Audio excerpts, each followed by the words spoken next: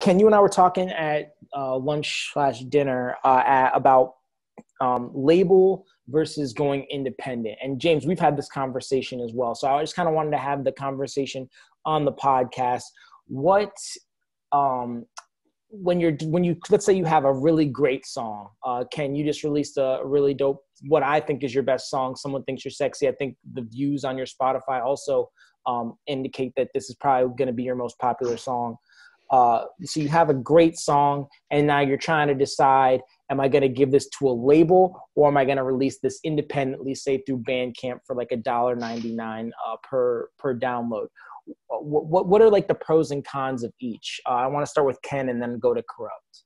Yeah, I mean, I, I, I could I might get a little long winded on this, but uh, it's something I've definitely looked into. Um, I released my first two EPs with a small independent label in Los Angeles, and I thought they uh, were great, but I still felt like I was doing a lot of the legwork myself. Um, when I listen to a lot of music business podcasts, a lot of people say when you get picked up by a big publisher, you get picked up by a big label um, you're going to end up doing a lot of the legwork yourself, but you're just kind of in a better network.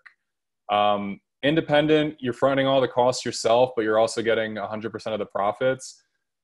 Label, they're going to throw a lot of money at you. It's essentially they give you a bank loan to record your music and market it, but they're going to take upwards of 85% of what the end revenues are and that never goes away. It's not like it's a small loan.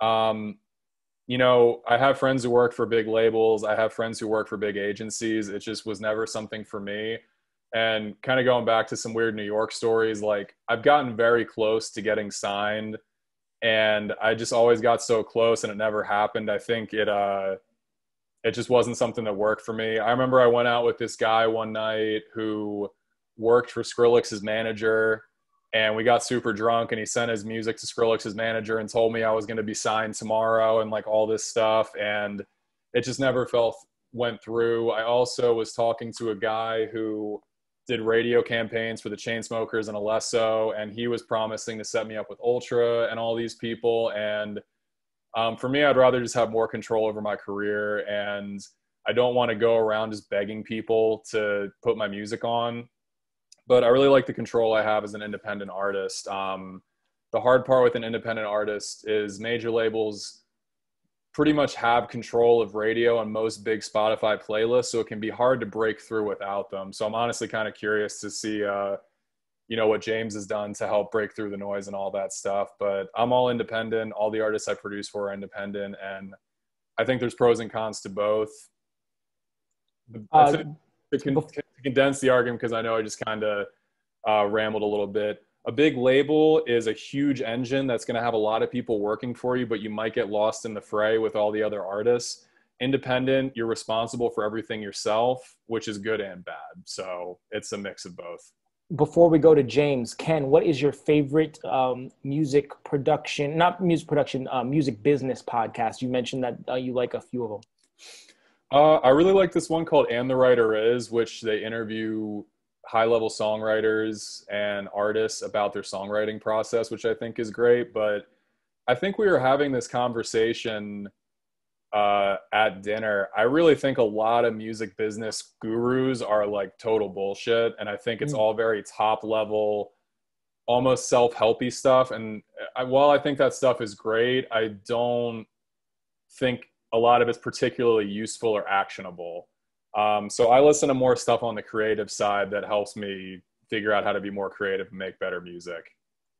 Gotcha. I, James, same question. Yeah, I can only speak on my experiences. Uh, I think Ken did a great job talking about you know big versus small labels and um, how the contracts work. But you know, for me, when I pursued a big bigger label to sign a track with. I'm i was just going after the exposure and the the tool the resources they have to get that track to major artists get artist support the promotion the the blogs the whole shabam there. I didn't expect to make any money because i know how big labels work like you said 80% or worse. Um, I've worked with some mid-level labels that are actually really cool and they have their own little hustle going on and they were able to get some major artist support for me. Um, and the you know, for me, from my experience, you know, the money has never been like to the point where I was like, all right, I just need to focus on this now, you know. Um, but that's just my experience, and I think I've tried. I definitely have tried the whole TuneCore thing, the whole small small label where I get everything, um, but they did nothing for me. Um, so then the question becomes, I just want my music on all platforms you know? And i want to know that they might get it on they're telling me that they're going to give it to these people like i'm still going to hustle on my end regardless of what a, a, label or small label. And for me i've always invested money into myself mm-hmm. um, into my brand into my music promotion but just be building myself. So um, i think it's important to try to pursue the best you can but honestly you might find a mid mid-level to small label that's just going to be more personable to you answer your emails um, but i will say if you get good enough you can get a good contract from a bigger label. It might not be your first or second release with them but if you just send them like hey i got these five tracks unsigned like give me a good deal i'll give them all to you like they'll give you a, they'll give you like a, a contract that like you said it's sometimes it's a loan sometimes it's like they'll just PayPal you a bunch of money, like here's we'll give you this up front for these songs, like. Um, but then and then the whole other side of it is like getting your getting your music on commercials getting your music in movies and stuff like that. That's all more possible with major labels and their resources. So there's pros and cons to both.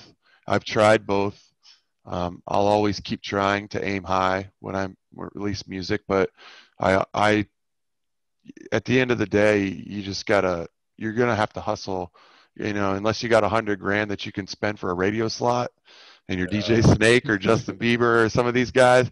I mean, they could make the worst song in the world and it's still gonna chart. You guys do realize that, right? Like, mm-hmm. for sure. Like the rich get richer with it when it comes to radio. Yeah, I mean, kind of piggybacking off what James said. I mean, I think one of the biggest problems with being an independent artist, and we talk about when a record label literally writes you a check or a loan. Um, if you want to get your song on radio and you want to get it a major Spotify playlist, you're looking at no joke a six-figure rollout just for marketing. That's not even including the people you pay for mixing and mastering and songwriting. But you know, you can get on Sirius BPM. You're gonna have to pay someone five grand to get on it and you'll get on it for a week and it might not get you that much traction. But uh, it's definitely a numbers game. And like James said, it's really hard. There are really high barriers to entry to get into that mainstream top 40 radio stuff. So you got to be very confident you're going to make your money back. Cameron, do you have any questions for these guys about the music production game? Yeah, man. Like I've, I've, I've sort of always been interested in the production side. Um, uh, but I've, but more specifically, I've always wanted to like drop like uh, some vocals on a track. So like for example, taking one of your tracks, Avanti, um, and you know, laying the vocals for it. Um, one song that I really like here recently is that Joel Corry song, um, "Head and Heart." Maybe you guys have heard it. Um, but the vocals on that is a guy, I believe, or you know. Um, but I'm like, man, I could sing just as good as this person. If only I could find someone who can produce the track. Um, so I was just thinking, like, man, how could I like, how could I wiggle this to try to like Dude, see up, if man. we can Let's make, go. you know, um, but uh, but I look forward to, like I mentioned, doing the mashup stuff, but mostly I think in like a live format. Um, maybe someday I've got Logic on my machine. Maybe one day I'll kind of dig a little deeper. I've got a little you know MPC keyboard thingy. I've played with it a little bit, but um, as of right now, I'm to stick to mixing other people's music um, and uh, and see where it goes. But but I really appreciate that breakdown from you, Corrupt. That was that was a pretty Thanks. I was going to say, Ken's going to agree with me on this. We like people like you that are like, I, I could throw in some vocals. Because we'll, we'll just sit here with a track and we're like, where are the vocalists? Where are they? Like, yeah. they're so hard to find, man. So, like, it's it's just cool. Yeah. It's funny that you say like, man, I want to find somebody that produces beats. We're like, where's the vocalist? Like, yeah, dude, I literally was like, let's go right now, man. Let's do it. Yeah. Get them Um, on uh, Philip Columbus. I actually uh, follow a question based on what Cam was saying. Um, so it, and I, I don't know anything about this, but it, it's it's I have an idea that it's it, it's hard to make a great track, right? Once but once you get good at production, it's not hard to make a great track. What's hard is to get a hit. Is there truth to that, uh, Ken and James, or is or is making a song just as hard as promoting a, an, an amazing song? Uh, you want to go first, James? Yeah, I, like there are there has been times where I've made a track and I'm just like, this is gonna be a hit. This is this is my song. Like this vocalist killed it. Um, I've got early support from this person, whatever. Like, but at the end of the day, man, it's like you want to make a hit. You live in Columbus, Ohio. You're it's it. You're an artist that you're already battling an uphill battle. Um, just being in the Midwest, right, and not being in like Germany or the UK or LA or Miami. But I don't. I never looked at it like that when I'm actually like working on promoting a track. I I, I believe Columbus is great, and it's next to Detroit. It's next to Chicago.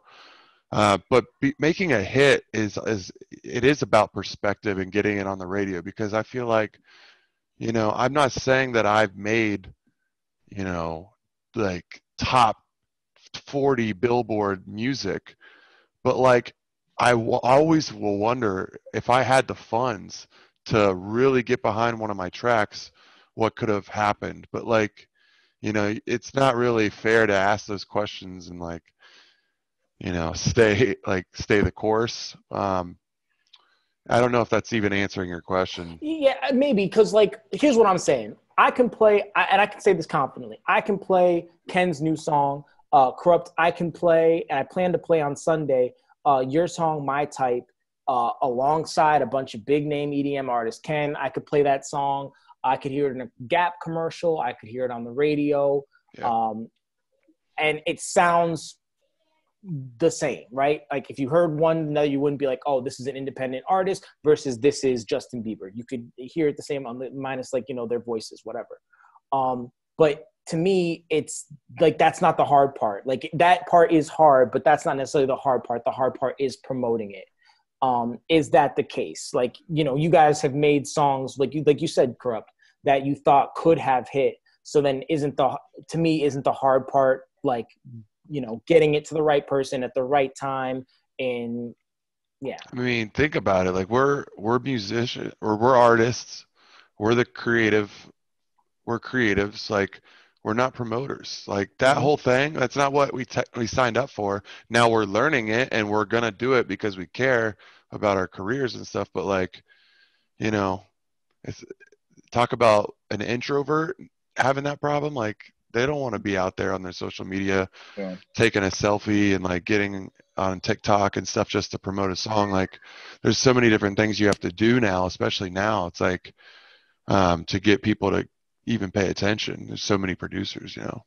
ken what would you say Uh, I, I agree with everything James said, and I don't think it's a one or the other thing in terms of like, is the creativity harder, is the marketing harder?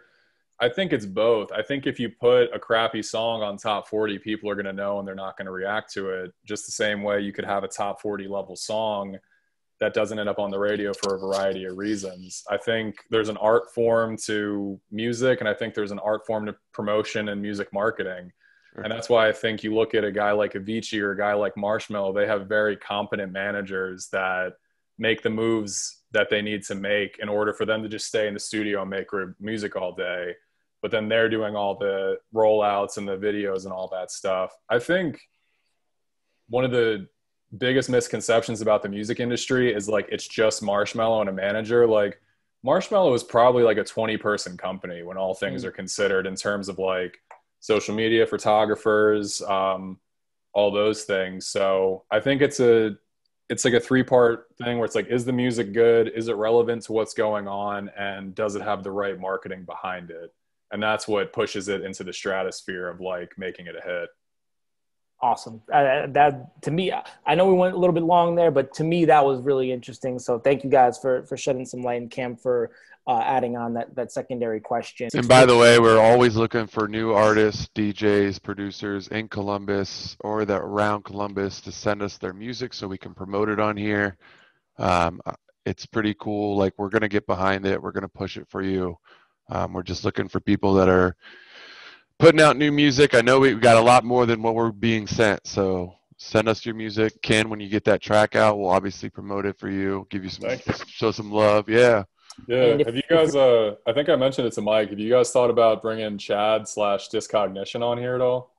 Yes, we have thought about it. Um, he is on, he's on the list. I just have to reach out to him. Gotcha. The time difference kind of hurts us a little bit because he's out in LA. I can see that. Uh, but we have no 614 releases for this week, which makes me sad. But if you're watching this on YouTube and you're thinking, I released a mix, I released a song, uh, I want these guys to talk about it, there's a link in there where you can just plug in your name, the song, the release date, all the information that you want me and uh, Corrupt to talk about and our special guest. Um, so again, guys, set up your Mailchimps, uh, add, send me the links. I will, you know, you'll have your, you'll guaranteed have one subscriber, probably two with Corrupt. Uh, and anytime you're releasing a mixtape, anytime you're releasing music, uh, you know, we will talk about it. So, uh, yeah, I think that we have talked about it the last few weeks. Um, so, yeah, that's pretty much that. Um, guys, where can people find you uh, online and in person? And can I do when you do yours? Um, and probably go to you first. Uh, talk about um, your latest release if you can. Yeah, so you can find me on Instagram, YouTube. I don't really use SoundCloud, uh, Spotify, obviously. But my latest release was this disco dance song called Someone Thinks You're Sexy that I'm super proud of. Um, I also put out two songs in August for other artists I produced for, um, AMC and Missa.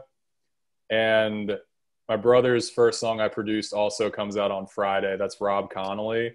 Um, so yeah, follow me there. There's links on IG. IG is uh, Avanti Music NY. So A V A N T I Music gotcha. NY um, yeah, that's where everything comes up. Cam?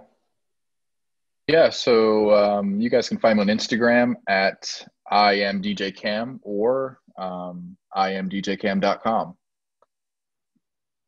Awesome. And uh, on Mixcloud forward slash I am DJ Cam. Check out my latest uh, 2010s dance pop mix. Hell yeah.